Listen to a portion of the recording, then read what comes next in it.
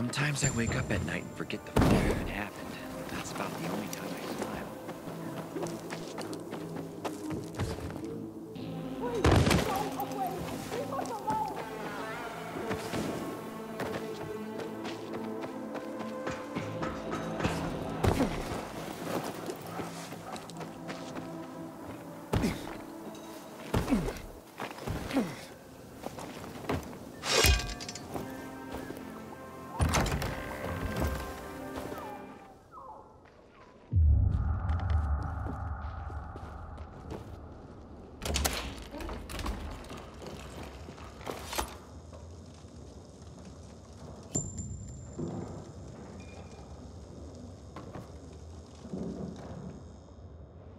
No signs of Cliff here. Damn it! You don't think they... He's not... He's not dead, is he? Don't jump to conclusions. But where could they be keeping him? Damn it, this is all my fault. I'm such a fool. Sending people here, yeah, that's on you. As for your brother, I'm not certain. Where did you last see him? We were in East Quarry and close to Devil's Bridge when they attacked us. They took him hostage and have been using me to carry out their orders ever since. I only did this to keep my brother alive, Aiden. I didn't know others would die when this started. What's Devil's Bridge? It's the name of this building. In the Middle Ages, they said devils haunted it. But then, times changed and no one believed in those things anymore. Before the virus, it was a car repair shop. Now it's full of bandits.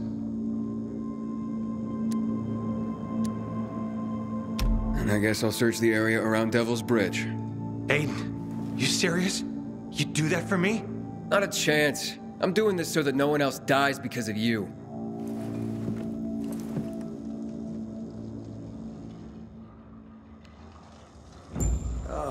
Maybe. Uh, I- I'm sure he's still alive.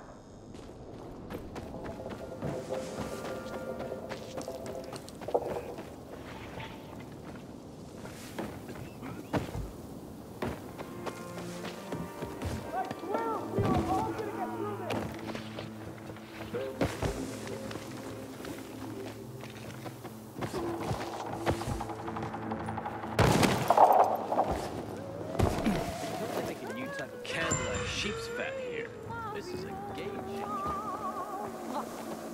You were sent from above. This chatter about the Night Runners rising from the ashes. Oh, People like a soft turtle dove.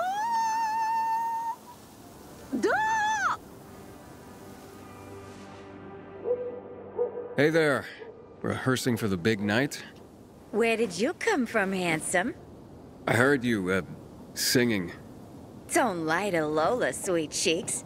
Bet you thought someone was strangling a cat. Uh, not at all. I, I. See this neck? You shouldn't be able to. Usually, it's wrapped in the softest, most rare of mink stoles. Lola was the grand dame of the bazaar.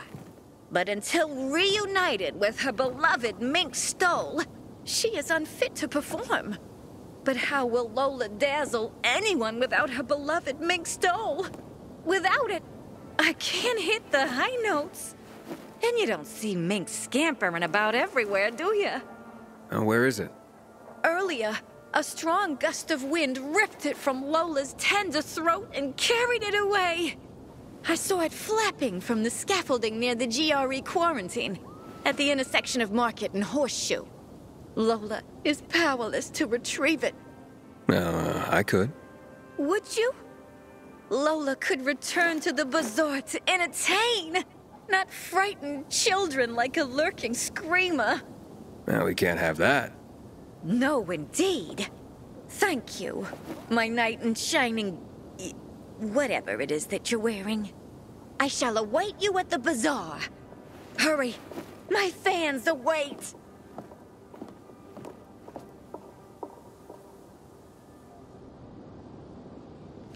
Sophie has interesting people working for her. Like a pilgrim, apparently.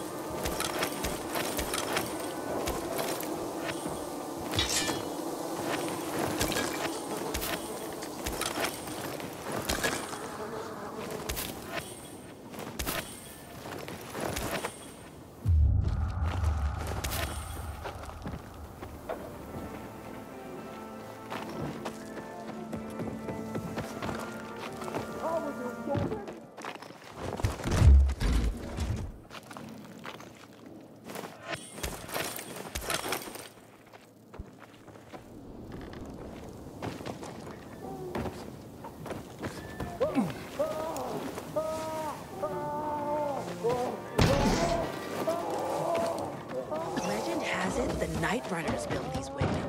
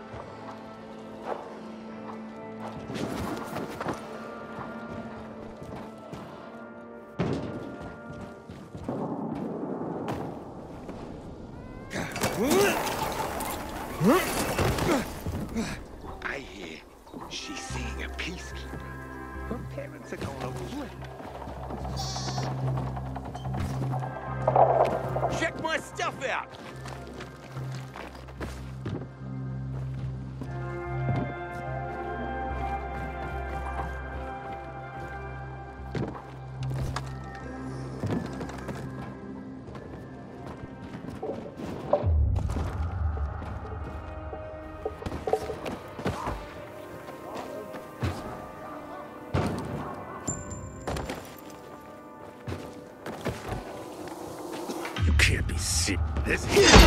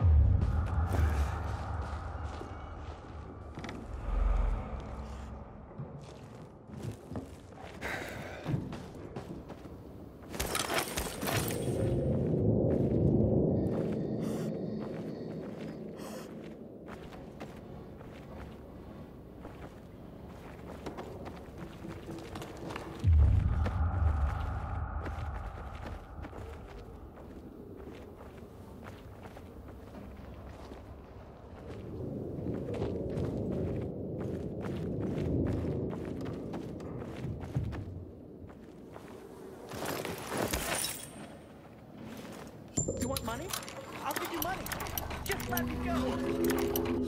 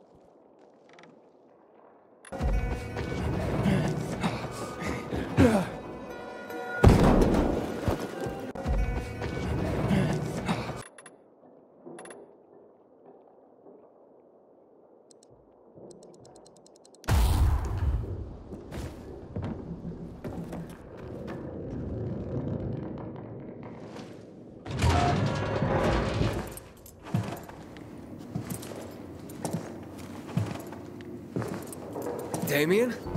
Damien? Nah, I'm Cliff. Wow. Resemblance is uncanny. Guards! Wait, stop! Damien sent me. H- How did you escape?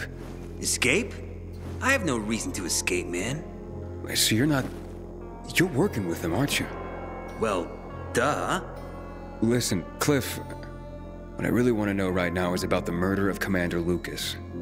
The PK commander? What about him? Did you or your people kill him? No fucking way. We're not suicidal. Anyway, we got bigger fish to fry. Like you, for instance. Me? What the hell do you mean? You and Damien haven't figured it out? Oh well. I love my brother, but he's a dope. Always has been.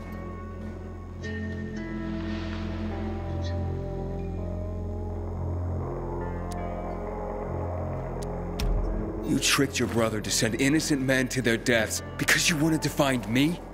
Waltz can run it all down for you himself. Or rather, for what you've got from Dylan.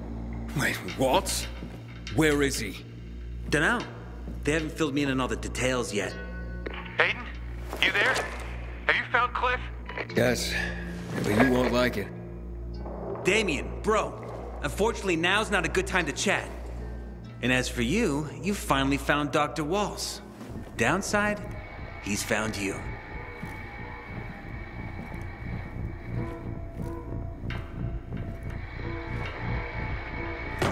That's him, fellas. The one who took the doc's toy.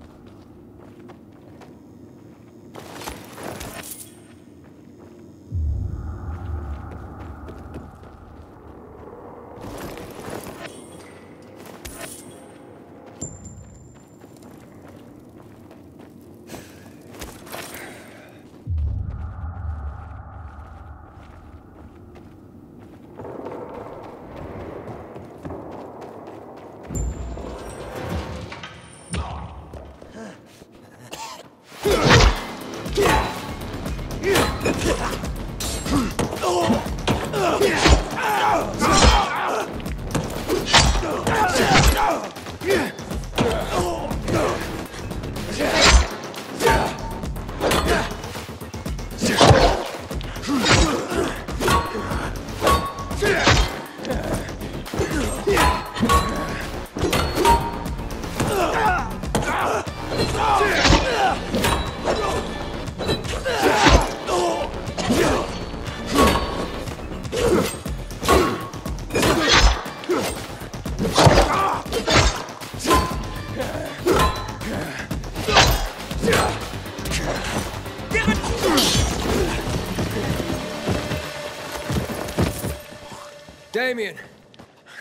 Are you still there? Come in, Damien. God, can you hear me? Ader. Did the lead pan out? Nah. Dead end. I'm not surprised. What can you do? I'll keep digging.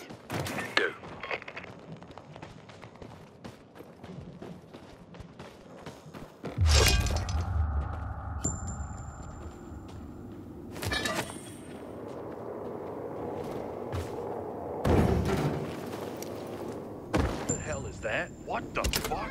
Something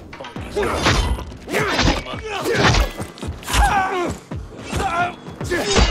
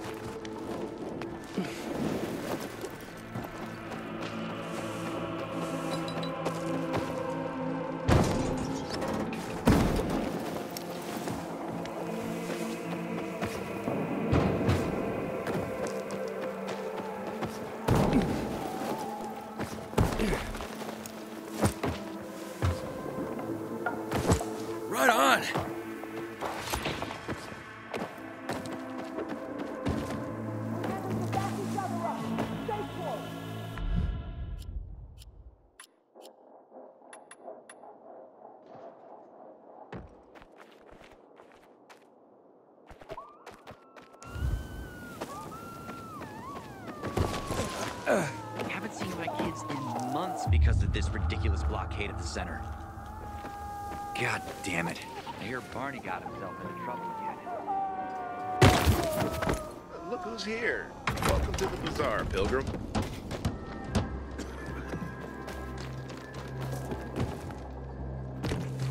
Barney,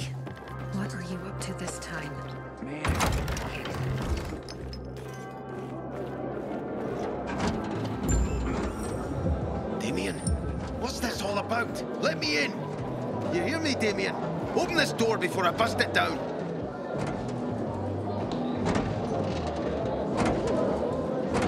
Sophie has interesting people.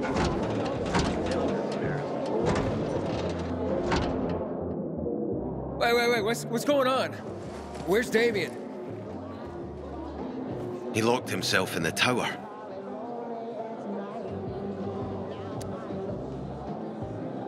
What's that all about? Beats me. Just started raving about something being all his fault. He was in a bad way. He's not answering his radio. He didn't look like he was in a talkative mood.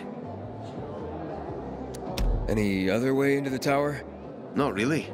Not by ordinary means. People have tried to climb the wall, but those who have usually end up getting scraped off the ground. Yeah, I'll give it a shot.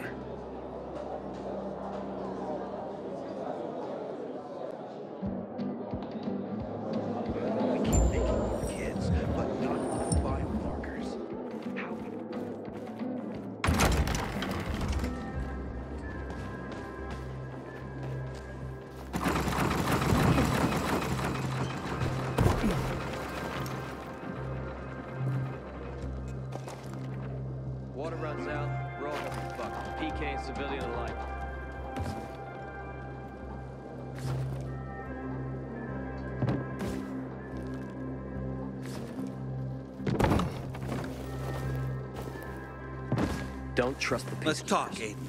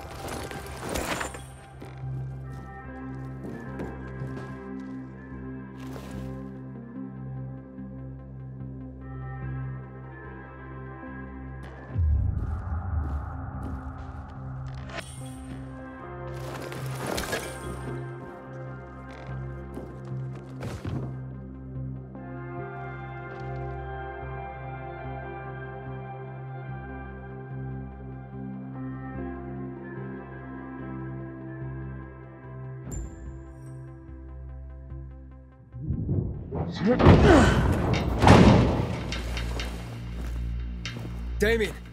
Stop or I jump! Wait! Okay. I've stopped. Relax, Damien. Let's both relax. What do you want? To talk. About what?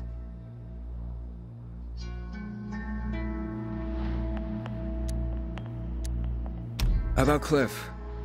About your brother? What about him? For one, I... I should apologize. For what? What happened to him, Aiden? Well, I... Uh, look, it's only fair that you know. Know what? That it's my fault. I killed him, not you. Oh, so you want me to jump? Is that it? Rub salt in my wounds? Of course you killed him! Do you think that changes anything? For anyone? It could. Maybe take some of the burden off of you. Nice try, but no, Aiden. No! I brought all of this down on myself. On me. On those poor victims. On my brother. And even you. And maybe I should just live with that. But I don't want to. At least not for very long. Only for about, say, 15 floors. I can handle that. Goodbye, Aiden. No!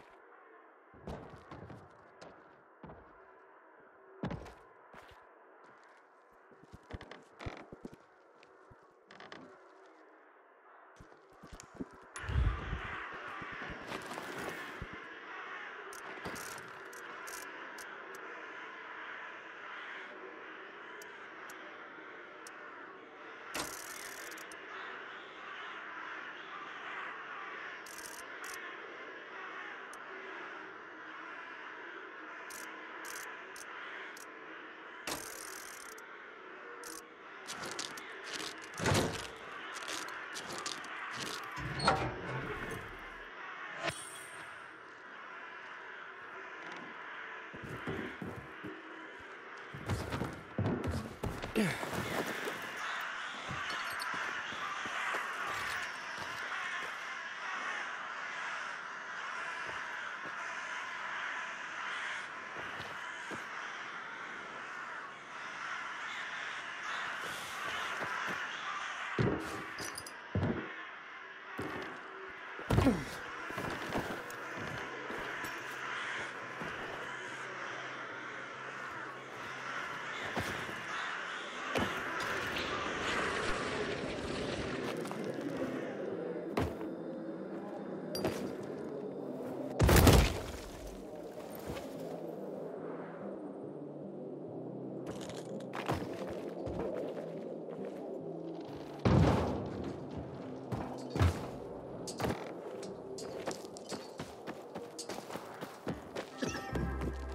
A word, Pilgrim.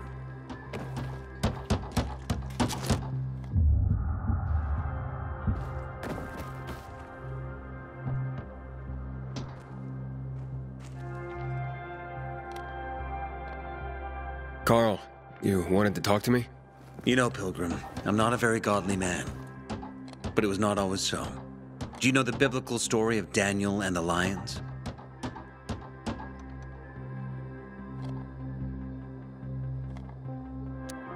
No, I don't. Why don't you tell me? So, Daniel was a godly man, prayed three times a day, never skipped a prayer, even when his king forbade his subjects to pray to anyone other than himself. Daniel didn't change his ways, so he was sentenced to be thrown into a lion's den.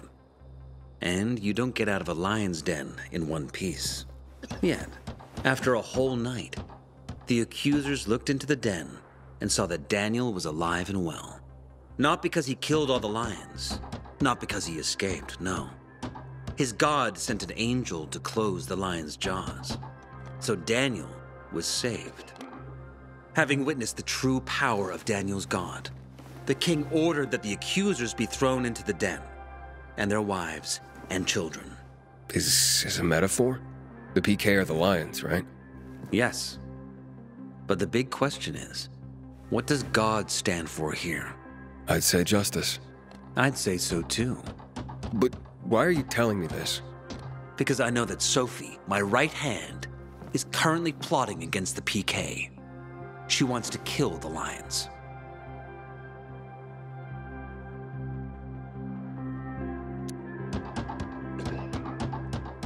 How do you know that? Because I was granted the gift of observation. And because I know her. And because she's not very secretive about it. The truth is, I'm worried about her. She's of good heart, but she's hot tempered and won't listen to me anymore. But maybe she'll listen to you. And what do you want me to say to her? Don't provoke the lions. Justice will come to us eventually. If, however, she leads us into the lion's den, there will be no angel to help us. We will all die. Us, our loved ones, everyone.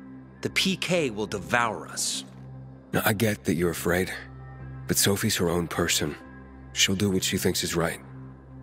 That's probably true. I can't make anybody do anything against their will. That's a tyrant's way, not a leader's. Maybe I should focus on what I can do, not on what others should do. Thank you for this conversation, Aiden. It was quite illuminating.